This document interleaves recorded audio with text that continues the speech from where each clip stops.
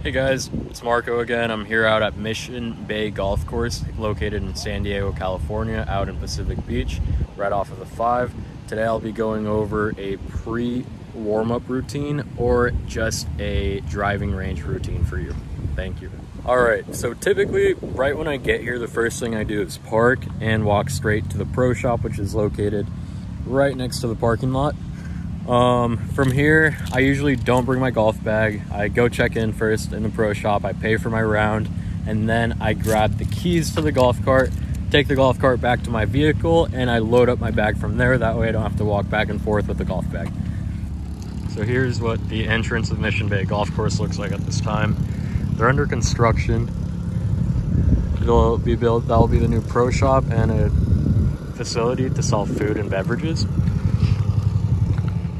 So typically right when you get here, if you do decide to walk in with your bag, you can set it down right here. And then as of right now, since there is construction going on, the pro shop is located in here and the bathroom is right next door. Um, you are able to rent a golf cart for about $13 or you could rent one of these push carts for $8. Uh, both a great deal. So once you're done checking in at the pro shop, you have your bucket of balls. I always recommend finding a bay setting down your balls behind someone that's about to finish up, and then grabbing your golf cart, heading over to your car and load up.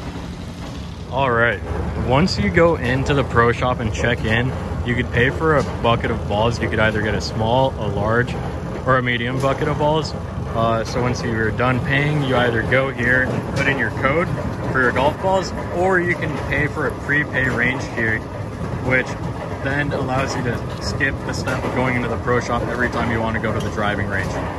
Typically, a driving range has two types of bays. An iron only area where you're hitting off the grass or an all club section where you can hit off practice mats, which are turf. As of right now, it looks like Mission Bay is only offering turf mats actually. It looks like the grass is closed off. Here's a putting mat. This side is more so for players that are playing around at the day of. So you could putt a little bit right here before heading over across the bridge to hole or tee pad number one. So once you're done hitting some balls, a bucket of balls, you can come over here, putt a little bit and head over to start your round. On the other hand, if you're not playing a round of the day of, or if you, even if you are, you can still come out here. But here, as you can tell, there's red flags and yellow flags. The red flags is a putting only area, and the yellow flags is for chipping. As you can tell, there are players chipping over towards the yellow flags and one towards the red, which they're not really supposed to be doing. But here's a map of the practice area. As you can tell, there's a putting only, chipping, and then bunker play is actually super cool.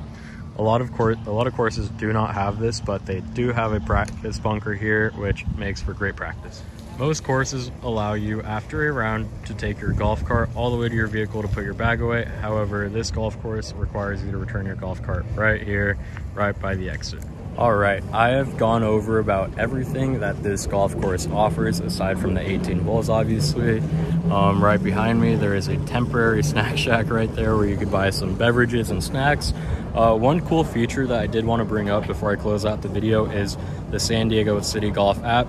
Uh, the city of San Diego now offers an app for golf, and that is for the Mission Bay Golf Course, Torrey Pines, and Balboa Park Golf Course. You can make tee time reservations on there. Uh, there's GPS tracking for the ball when you're playing. You can see the distance from your ball to the hole. Super cool features. I'd recommend anyone that's looking to play around at one of these three courses to get the app prior to coming out here.